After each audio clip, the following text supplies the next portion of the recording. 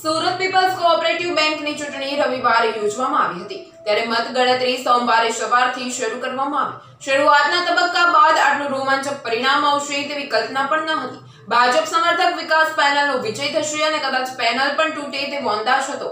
જોકે મોડી સાંજ સુધીમાં જે પરિણામ આવ્યું, તેણે બધાને ચોંકાવી દીધા હતા. સુરત અને દક્ષિણ ગુજરાતની મોટી સહકારી બેંકોમાં જેની ગણના થાય છે, તેવી સુરત પીપલ્સ કોઓપરેટિવ બેંકના આખા બોર્ડની ચૂંટણી પહેલી વાર યોજાઈ હતી. બેંકમાં હાલના પ્રમુખ અને શહેર ભાજપના મહામંત્રી મુકેશ દલાલે તેમની પેનલને વિકાસ પેનલ તરીકે મેદાનમાં ઉતારી હતી. તેમાં શહેર ભાજપના વર્તમાન ખજાનચી શૈલેષ જરીવાલા, કોર્પોરેટર કેર ચપટવાળા, ધર્મેશ વાણિયાવાળા, પૂર્વ કોર્પોરેટર દીપક આફ્રિકાવાળા સહિતના ધુરંધરો હતા.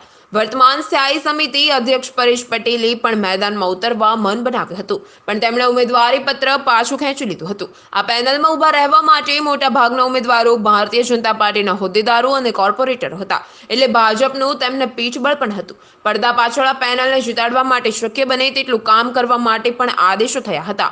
જોકે તમામ પ્રયાસો બાદ પણ વિકાસ પેનલની પછડાટ મળી હતી. બીજી તરફ સહકાર પેનલમાં ભાજપના જૂના નેતા સ્વર્ગસ્થ નરેન્દ્ર ગાંધીના પુત્ર, નાનાલાલ ગજ્જર પરિવારના ઉત્તરાધિકારીઓ, ચેમ્બર ઓફ કોમર્સના પૂર્વ પ્રમુખ રોહિત મહેતા જેવા ચહેરા હતા. જોકે વિકાસ પેનલને સત્તાનું ગુમાન હોવાનું પારખી આ પેનલે પણ સભાસદોમાં ખૂબ પદ્ધતિસર પ્રચાર કર્યો હતો. હોશિયારીપૂર્વક મતદાર એવા સભાસદોમાં પગ પેસારો કર્યો હતો અને પોતાની તરફે વાળવામાં સફળ રહ્યા હતા. સોમવારે મોડી સાંજે પરિણામ આવ્યું ત્યારે સૌ કોઈ દંગ રહી ગયા હતા. Sir, the Surat people's cooperative બેંકની આજની ચૂંટણીમાં હું એક ઉમેદવાર હતો અને આજે મને ખુશી છે કે અમારા મતદારોએ અમારા પર અભૂતપૂર્વ વિશ્વાસ દાખવીને અમારી પેનલને જંગી બહુમતીથી વિજયી બનાવી છે. એ સાથે જ એ ભરોસો આપવા માગું છું કે જે ભરોસો આપીને એ લોકોએ અમને આ બહુમતી આપી છે, એને ખરો ઉતરવા માટે અમારી આખી ટીમ હવે આવતીકાલથી જ કામ પર લાગી જશે અને સભાસદોને ખાતરી આપીએ છીએ કે એ લોકોની ડિપોઝિટ સુરક્ષિત રહેશે. અમે એક જ મુદ્દા પર કામ કરવા માગીએ છીએ. અમારો મોટો છે બધા સાથે રાખીને સહકારથી કામ કરો. ડિપોઝિટ અને એ બધું સલામત રહે એટલે સલામતી અને સલામતીથી સમૃદ્ધિ.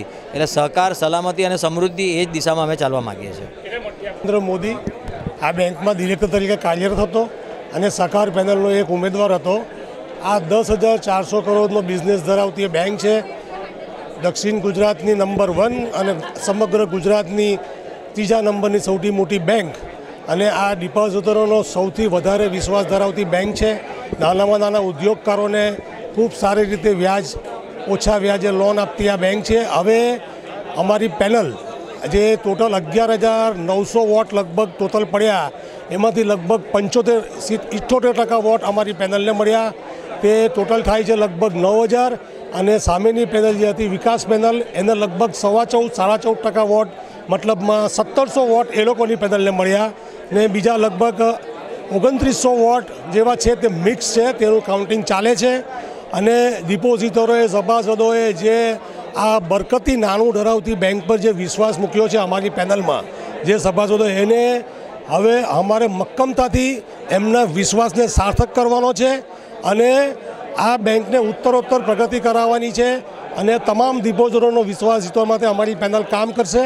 અને એનો હું વિશ્વાસ આપું છું, અમારું સૂત્ર હતું સહકાર સહકાર એટલે સમૃદ્ધિ તરફનું પ્રયાણ સહકાર એટલે સદ્ધરતા, સલામતી, સલામતીથી સમૃદ્ધિ અને સમૃદ્ધિથી વિકાસ. એને અમે સાર્થક કરીશું. સહકાર પેનલના સક્ષમ એક તાકાતવાન ઉમેદવાર તરીકે ઉમેદવારી નોંધાવી છે અને એ ઉમેદવારીને બેઝ હતો કે સુરત પીપલ્સ બેંકમાં જે સહકાર પેનલ અને વિકાસ પેનલ જે એકબીજાના સામે અમે જંગ જીતવા માટે જે સાહસ કર્યું અને દરેક સભાસદોએ, દરેકે દરેક સભાસદોએ અને સભ્યોએ જે સહકારથી અમોને વોટિંગ આપ્યું, તે બદલ અમે સૌનો બધાનો આભાર માને, માનીએ છીએ.